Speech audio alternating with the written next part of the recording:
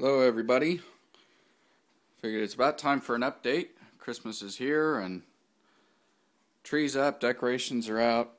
Um, wanted to give an update specifically on this new Pixel controller. I kind of alluded to it in an earlier video. Um, said I would do one just dedicated to this unit. Um, so that's what this is. This is the uh, Ethercon Gateway P12R from Joshua One Systems. Um, it's an E131 based uh, Pixel controller. So I'm going to kind of walk through what this board is, how it works. Um, to begin with, uh, it has two banks on the board, a left side and a right side. Um, each side has its own uh, voltage input, so you can run, um, say, 5 volt here and 12 volt here, or 12 volt here and 24 volt here, or you know whatever you want. Um, I've got it wired up to my pigtails because that's kind of what I use for everything. So I'm going to plug it into just a regular. This is my my bench top. Is my testing uh, power supply here and get these to go together with one hand while I'm holding my camera. Go. Okay, so go ahead and click this on. Um, this is running 12 volt out, and you can see um, in this case this board, uh, they were lit up. This board has an onboard voltage regulator. Um, it needs at least 5 volts to run. You can either supply 5 volts uh, right here on the screw terminals, um, or the way this works is with uh, these little jumper wires. Um, pin 1 and 2 is taking the, the uh, power that I'm feeding the bank up here on top, um, and that's feeding it back into the voltage regulator. Then coming out of that is our 5 volt that we need to run the board, and then uh, running back in. So instead of running with a, a separate 5 volt supply just to run the electronics on the board, this has a, an onboard voltage regulator. So just by using the, the jumper wires, I can now use the same power uh, that I use to, to run my pixels to also run the board. Um, here you can see this is the Cat5 cable. Again, this is an Ethernet based controller, so um, this Cat5, I'm running back just a loop here uh, directly into the, the network card on my laptop. Um, and in this case, uh, I've got the, the onboard diagnostic running. That's just what's cycling through red, green, blue, red, green, blue.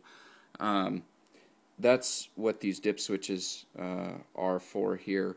Uh, some of these are for addressing, but uh, switch number four going up is that onboard um, diagnostic sequence.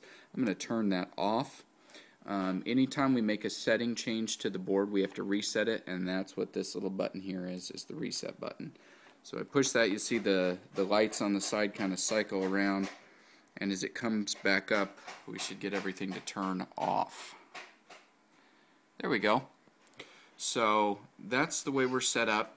Um, again, the board has these uh, four pin sockets. Uh, they got little screw terminals in them, so you can mix and match, change stuff around. I happen to have all these wired up here um, for things that I've been tinkering with and working on. Um, so I want to show kind of how the board is set up. Um, because it's an Ethernet controller, uh, and this is the thing I really like about this uh, Joshua One Systems.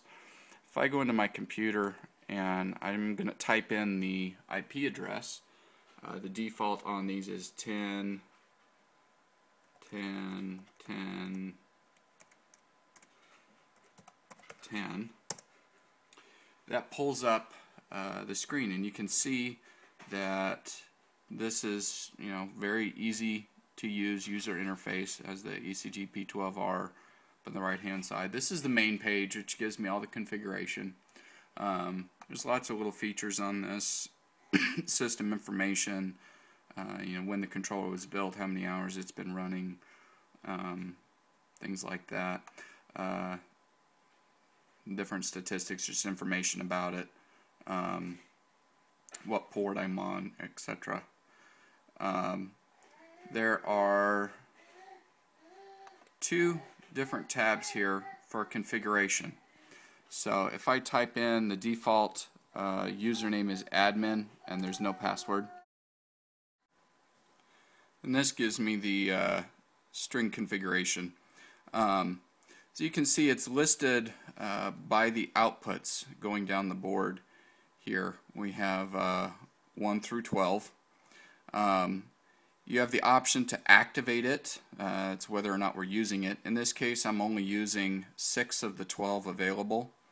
Um, you can see I have those programmed for 2801 pixels, but this will support 6803s, uh, the 1804, 1809, and the TLS 3001s.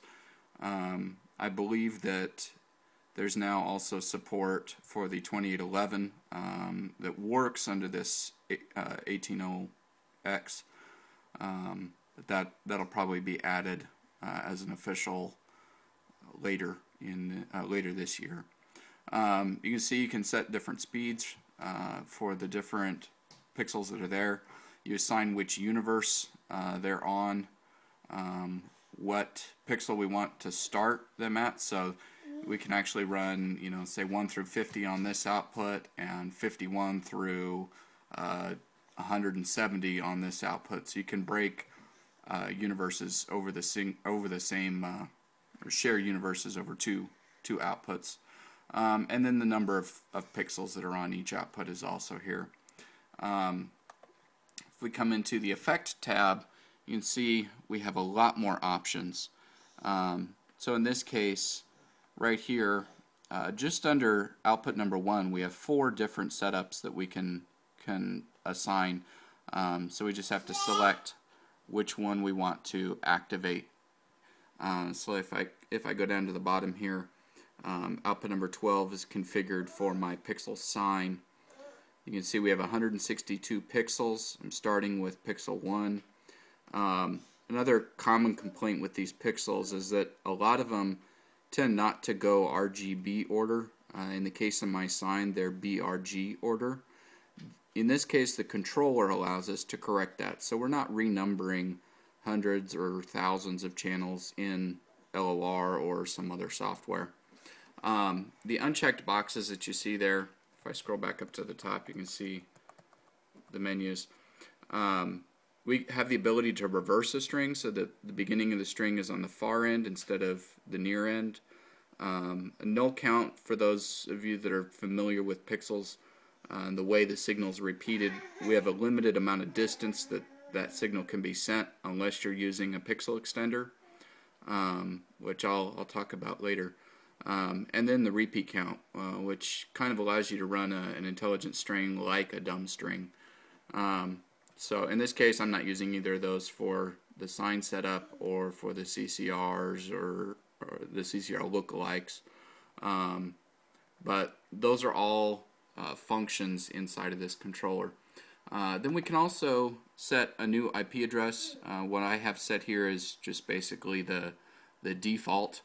Um, we also have the ability, uh, if for some reason we can't connect to this over IP, um, if we've enabled the UBL, UBL stands for Universal Bootloader.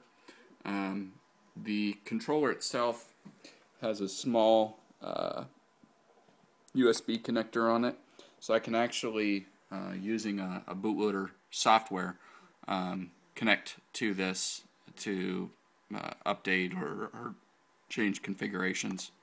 Um, we can actually save the XML output. Uh, so if we ever have a setting, you know, set up for a show, uh, say at, at, you know this time of year, we can export this and save it. Um, and then as we tinker with stuff or make changes over the year, um, you know, you can go in and individually tweak each one of those outputs. But when it comes time for a show again, you can re-import this um, and save it, uh, submit it, and it will reset all of your settings just how you had them before.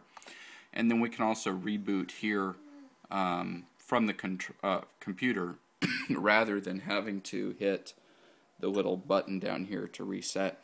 So what that means is while this is sitting out in your yard under four feet of snow, um, if you'd want to make any changes to it, uh, you can do so right from your computer um, and not not ever have to go back outside. So really neat, um, neat user interface, very easy to understand, very easy to use, and that's what I liked about this.